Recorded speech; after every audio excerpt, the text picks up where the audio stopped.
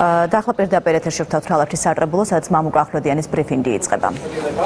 რომ დღევანდელ სატრებულოს ხდომას, რა თქმა უნდა, ჩვენი ფრაქციის არც ერთი წევრი არ დაესწრება, ვინაიდან მიგვაჩნია, რომ დღევანდელი სატრებულოს ხდომა არის არალეგიტიმური, უკანონოდ მოწვეული და მასზე განხილული დისციპლინის საკითხები იქნება არალეგიტიმურად ცნობილი. ასევე ჩვენ რაღაცნაირი გადაწყვეტილებაც არ უნდა იყოს მიღებული. ჩვენ გავასაჩივრებთ ამას სასამართლოში და ასევე ცალსახად და ერთმიშულოდ მინდა დაგიდასტუროთ, რომ ჩვენ არ ვეპოტინებით თუ არ ვეპროუჭებთ არც ერთ თანამდებობთ არც ერთ წამს ჩვენს ოპონენტებს შევთავაზებთ ის რომ ყველაფერი ეს მომხდარიყო კანონიერ რეგლამენტირებულ ჩარჩოებში მომხდარიყო ყველაფერი კანონის სრული დაცვით და ამის მიხედვით მომხდარიყო ჩვენი გადაყენება და ახალი ადამიანების დანიშნა ამ თანამდებობებზე.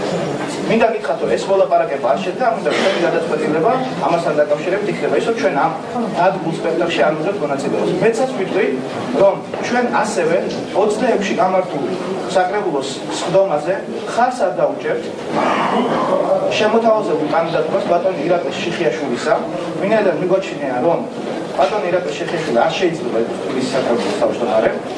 ასევე მინდა მოგახსენოთ ის რომ ამასთან დაკავშირებით, მის კანდიდატურასთან დაკავშირებით, თვითონ კოალიცია ქართულ ოცნებაში არსებობს ასთა სხვადასხვაობა. კოალიციის ეს პირდაპირ ჩართვა თალათის სატრებულოდან და მამუკა ახლოდიანის ბრიფინგის სატრებულოში განვითარებულ მოვლენებს ჩვენ მომდენო გამოშვებებში საუბრობთ